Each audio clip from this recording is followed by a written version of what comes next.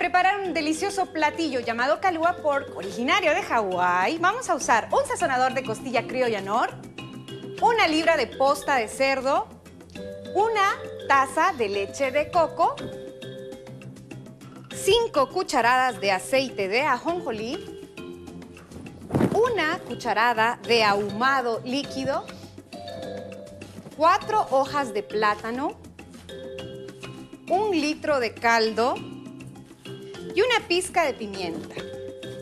Bueno, y vamos a preguntarle a Chef Mario cuál es esto del que tenemos que preparar que dice ahumado. Ahumado. El ahumado ahora ya lo venden, venden unas botellitas eh, que dice ahumado líquido. Las pueden buscar. Ya recientemente empezó a entrar esta serie de productos a Guatemala que no eran tan, tan pedidos, ahora ya por la demanda que hay en cuestión de sabores ahumados. Es un trabajo realmente largo para estar ahumados, pero ahora ya vienen botellita, un par de gotitas y da un toque súper especial ahumado. Pero vamos a comenzar por acá, miren, yo tengo por acá una olla, una olla presto. Lo pueden hacer de dos maneras. Lo pueden hacer en una olla presto o en sus casas pueden poner todos esos ingredientes que les voy a dar el día de hoy y estos pasos a seguir para que les, en una olla de cocción lenta les va a quedar también súper bien. Buscamos que el puerco esté eh, realmente se, se, deshaga y tenga muy buen sabor. Ponemos por acá la posta de cerdo y me traigo mi sazonador de costilla nor. Vamos a hacer por acá unos cortes. Esta posta viene bien, bien limpia, se pueden dar cuenta. Me encanta mi carnicero, siempre me viene consintiendo con mis cortes y con lo que lo voy pidiendo. Una muy buena forma de cocinar es buscando muy buenos productos. ¿Y dónde queda Hawái para, los, para que primero nos ubiquemos? Yo soy así como muy espacial. Queda en el centro del Océano Pacífico, en la región de la Polinesia. Así es. Y tiene eh, lugares paradisíacos. Es uno de los continentes que al sol de hoy, perdón, es un es una Archipiélago. es un archi- Archipiélago, porque son varias islas. que, hoy- que al sol de hoy sigue creciendo por su actividad volcánica, que realmente es increíble. También tiene las mejores olas para ir a surfear, que son aproximadamente de 9 metros, que saben que los amantes a la ola, se- para eso es, ellos es increíble. Seguimos por acá, entonces yo pongo cerdo, aquí ya también puse un poco de vino, voy a poner acá mi caldo de Qué bueno pollo. se ve eso. Muy rico. Esto va a quedar genial. Es- Esto para hacer sándwiches le va a gustar. Voy a poner por acá también un poco de leche de coco. ¿Esta No, carne de cerdo cuántos tiempos o cuántas horas la dejamos en la olla de Como te decía, le pueden poner todos los ingredientes estos. Por eso les dije que les, eh, les enseño mero qué usamos. Luego les doy tiempo en olla presto, en olla de eh, cocción lenta, que va genial. En olla de presión, 12 horas. No, No, en olla de presión, de cocimiento lento. 15 minutos y Sí, mucho. En olla de cocimiento lento, 12 horas. Porque Miren, pongo por acá esto. En la olla de Este presión, es- sí, rapidito. Este es el ahumado, vamos a usar solo unas gotitas, no queremos nada extravagante, porque no nos va a matar sabores. Sal y pimienta, muy poco, solo siempre para mantener sabores y realzar, para no perder nada.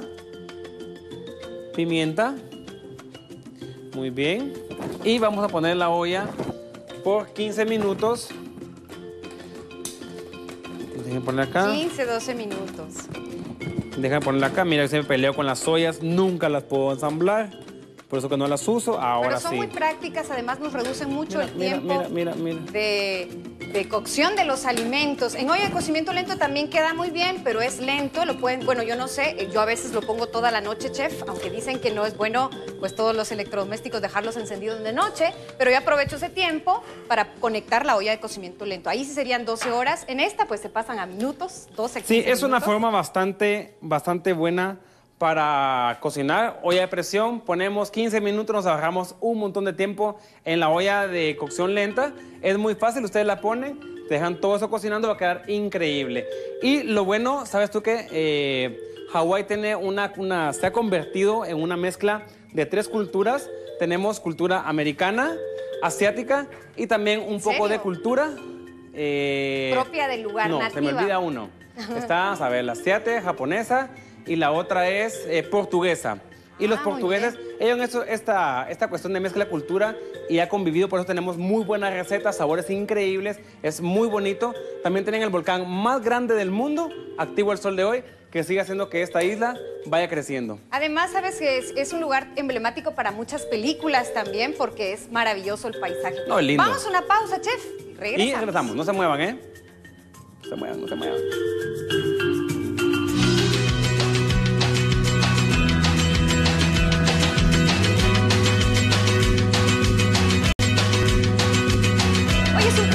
Especial en Secretos de Cocina. Estamos en Cocina Viajera. Y realmente cuando uno viaja, conoce otras culturas, aprende muchísimo de los alimentos de diferentes países. En este caso, pues Hawái no es un país. Habíamos dicho que es un estado de los Estados Unidos. Y bueno, vamos a conocer un poquito de su gastronomía. Hoy, cerdo con Claro una mezcla sí. de sabores muy ricos. Así es. de- si no estoy mal, Estados Unidos se posicionó de Hawái aproximadamente a Segunda Guerra Mundial, pero también tienen este volcán que les digo, búsquelo por ahí en, en las redes, se llama eh, Maui Loa.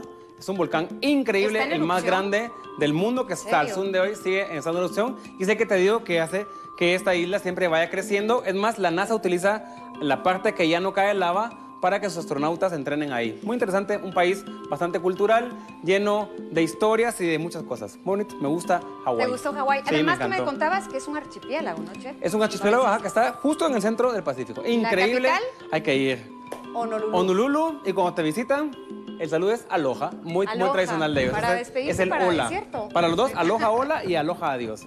Muy prácticos, me gusta. Claro que sí. Ahora, ¿qué, vamos, ¿qué queda acá? Solo me queda que esto empiece a sonar un poquito, 15 minutos, lo sacamos, luego vamos a hacer un montaje muy rico para hacer unos panes con este calúa pork que queda increíble. Vamos a ver el repasando, así que no se lo pierdan. Para preparar un delicioso calúa pork, primero pinchamos la posta de cerdo con un tenedor y agregamos el sazonador de costilla criolla horno. Sobamos e incorporamos el ahumado líquido, aceite de ajonjolí y pimienta. Envolvemos en hojas de plátano, lo colocamos en una olla de presión con un poco de caldo de pollo por 45 minutos. Partimos en tiritas y está listo para servir.